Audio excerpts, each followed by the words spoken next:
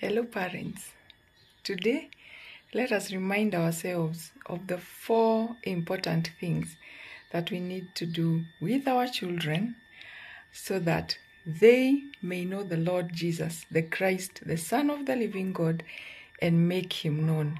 They may serve the Lord God Almighty um, and make him known uh, to the others, to other children, to other people who do not know the Lord Jesus, the Christ, the Son of the living God, as their Lord and their Savior.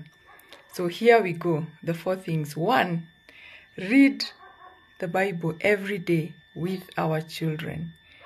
Let us read the Word of God every day with our children because Jesus said in Matthew chapter 4, verse 4 that man does not live by bread alone, but by every word that proceeds from the mouth of the Lord. The word in the Bible, the Bible that we read, is the word that has proceeded from the mouth of the Lord. Let us read it with our children every day.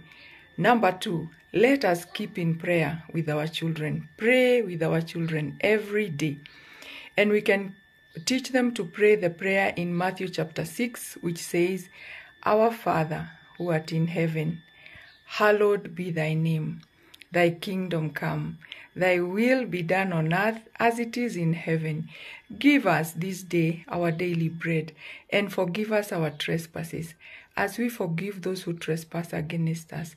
Lead us not into temptation, but deliver us from all evil. For thine is the kingdom, the power, and the glory forever and ever. Amen. Number three, sing songs that will build the faith, our faith, and the faith of our children. And you can start with any song, any hymn. You can say, What a friend we have in Jesus. You can say, Jesus loves me, this I know. You can sing, What can wash away my sins? Nothing but the blood of Jesus. You can sing any song with your children. And singing and listening to gospel music builds our faith. Do this every day. Number four, serve the Lord God Almighty. Show love to God, to Jesus Christ, to the Holy Spirit by serving little children in children ministry, in Sunday school, at Kisima Champions. Come, serve the little children. When you sharpen a pencil for a child uh, to fill their word puzzle, you're showing love to God and you're serving the Lord God Almighty. Come serve in, in Sunday school by being a registrar, registering the children as they come in and directing, directing them to their classes. Come and assist the teacher in that class that has 70 children and only one teacher. Come to Sunday school and see what God will do through you. Those are the four things for today we will share. Then tomorrow we will share a little bit more. Thank you, parents.